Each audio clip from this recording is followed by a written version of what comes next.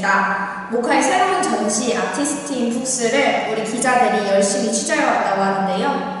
박민서 기자, 이번 전시는 어떤 내용입니까? 이번 전시는 제목 그대로 그림책으로 다시 만난 아티스트입니다.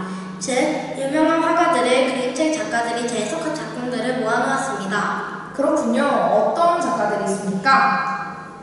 르네 마그리트, 빈센트 반 고흐, 앙리 마티스, 박수건뿐 아니라 더 많은 작가들을 만나볼 수 있습니다.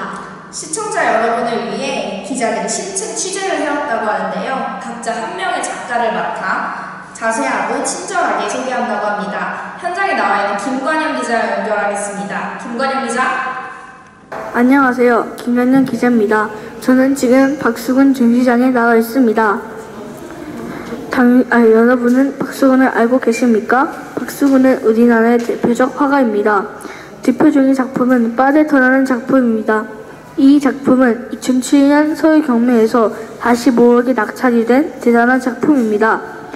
이 대단한 작품을 볼 수 있는 그림책이 있습니다.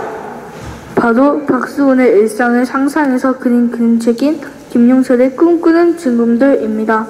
김용철은 어떻게 박수훈에게 관심을 가지게 되었을까요?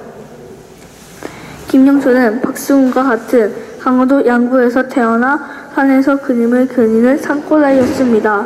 고등학교 때부터 박수훈의 그림에 관심을 가지게 되어 박수훈의 인생을 담은 책 꿈꾸는 증검도를 썼다고 합니다. 뒤에 있는 그림들이 궁금하신가요? 현대 어린이 책 미술관에서 확인하세요.